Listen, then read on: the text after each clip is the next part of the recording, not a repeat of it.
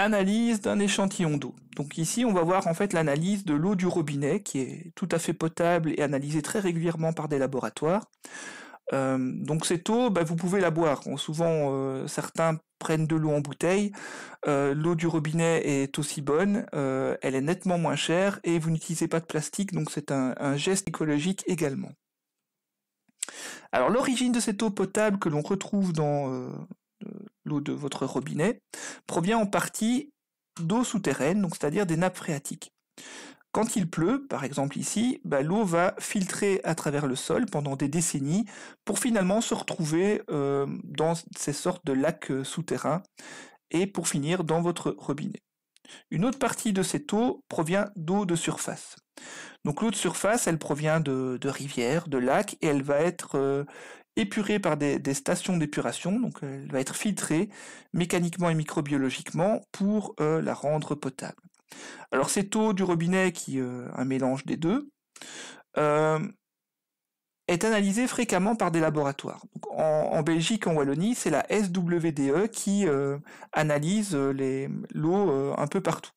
Donc sur leur site internet, vous avez accès par exemple à l'analyse de l'eau de votre robinet chez vous. Il suffit de rentrer votre adresse, votre commune, et puis vous allez avoir accès à un rapport. Alors voici un exemple de rapport, c'est un rapport succinct. Donc ici c'est euh, à Namur par exemple.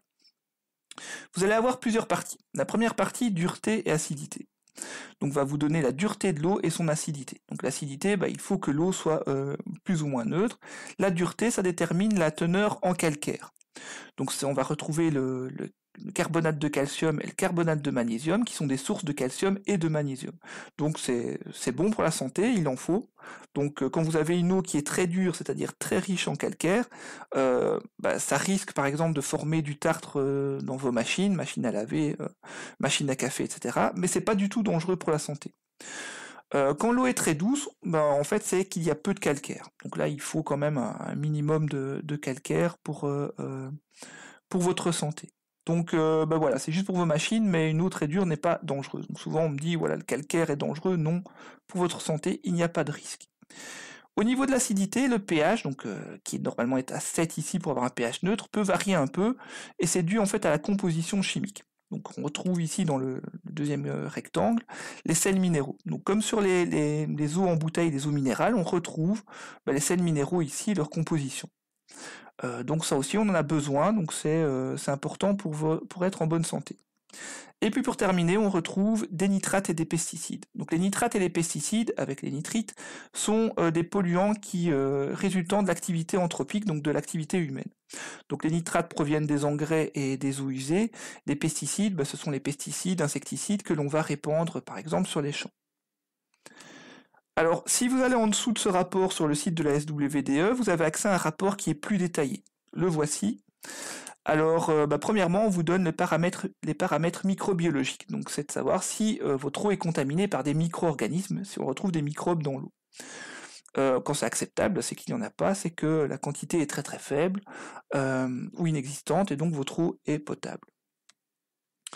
Alors vous allez également retrouver des analyses. Dans les rectangles ici, vous allez avoir les résultats obtenus. Donc euh, on a pris votre eau du robinet, on l'a analysée, voici ce qu'on a obtenu euh, comme valeur représentative. Donc le but ici, c'est que ces valeurs soient inférieures à la valeur paramétrique qui est en fait la limite à ne pas dépasser.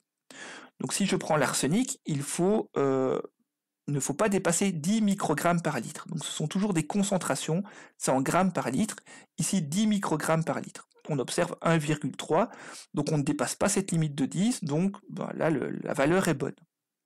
Euh, on retrouve bah, différents euh, composés chimiques ici. On retrouve par exemple des oligoéléments comme le, cuivre, le chrome, le zinc en dessous. Donc ce sont des oligoéléments dont votre corps a besoin également. De l'autre côté, on voit les polluants. Donc par exemple les nitrates qui peuvent se transformer dans votre corps en nitrite, et les pesticides. Donc là, pareil, il ne faut pas dépasser ces limites. 50 mg par litre de nitrate, bah pareil, on est entre 5 et 13 ici. Euh, les pesticides, pareil, il ne faut pas dépasser 500 nanogrammes par litre, on est à 11, donc on est nettement en dessous des 500 nanogrammes, donc c'est correct. En dessous, dans les, paramètres indicateurs, ce ne sont pas des valeurs que l'on euh, qu'on, doit garder. Donc on peut dépasser ces valeurs. C'est juste pour donner une indication.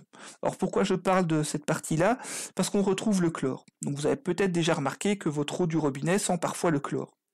Alors pourquoi on utilise ce chlore? Ben, C'est pour euh, être sûr qu'il n'y a pas de micro-organismes dedans. Donc c'est pour tuer les micro-organismes.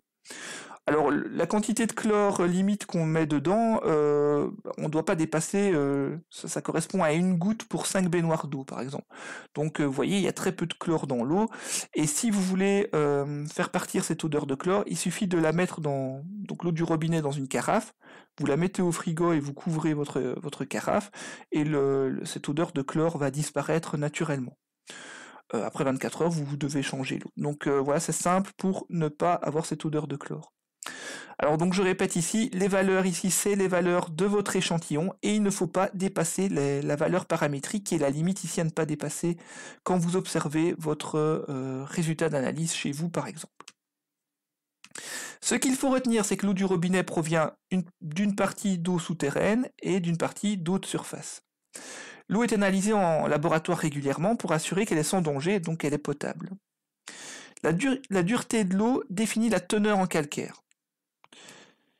Les nitrates, nitrites et pesticides sont des polluants d'origine anthropique que l'on peut retrouver sur euh, l'analyse détaillée de, euh, de votre eau. Et pour terminer, ces résultats d'analyse ne doivent pas dépasser une limite. c'est ce qu'on appelle la valeur paramétrique. Euh, c'est pour garantir que votre eau est sans danger à la consommation.